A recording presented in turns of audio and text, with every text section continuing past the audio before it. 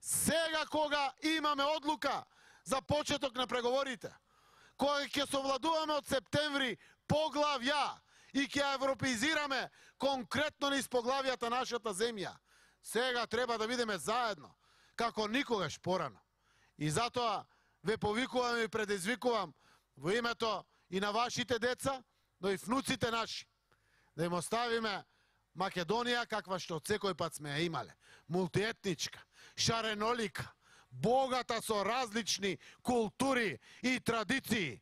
Тоа што е всушност Европа, ние сме Европа во мало. Затоа овој концепт е победничкиот концепт зад кој што ќе застанеме сите.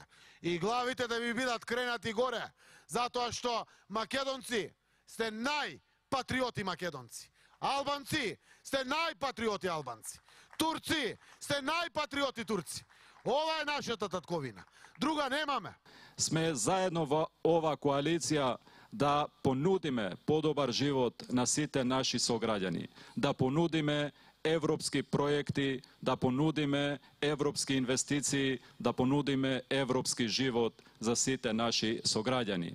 Сме заедно во ова коалиција да им овозможиме на нашите сограѓани да се движат слободно низ Европа и да не, се, да не живееме во изолирана држава